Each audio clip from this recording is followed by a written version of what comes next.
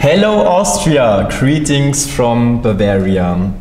Thank you so much for this great afternoon. You are simply amazing. These are the results from the German Didactics Voting.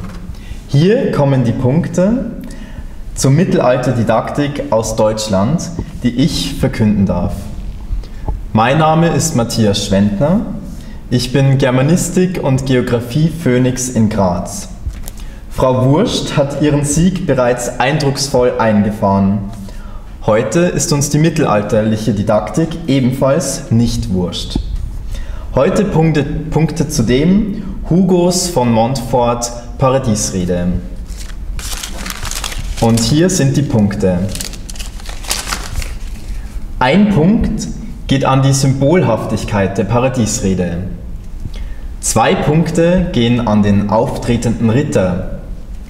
Drei Punkte geht an das Trostspenden zwischen den Zeilen.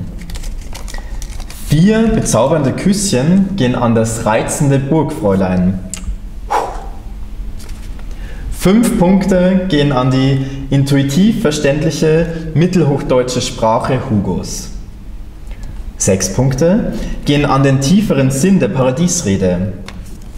Unsere sieben Punkte gehen an die ethisch-philosophische Dimension, die sich dabei auftut. Unsere Final Points. Acht Punkte gehen an Wernfried Hofmeisters Übersetzung ins Neuhochdeutsche. Unsere zehn Punkte gehen an die theaterpädagogische Eignung der Paradiesrede. Last but not least, unsere zwölf Punkte gehen an den steirischen regionalen Bezug dank des Literaturpfads in Bruck an der Mur. Herzlichen Glückwunsch an alle Gewinner. Ich wünsche Ihnen noch einen wundervollen Abend und gebe jetzt das Wort zurück nach Graz.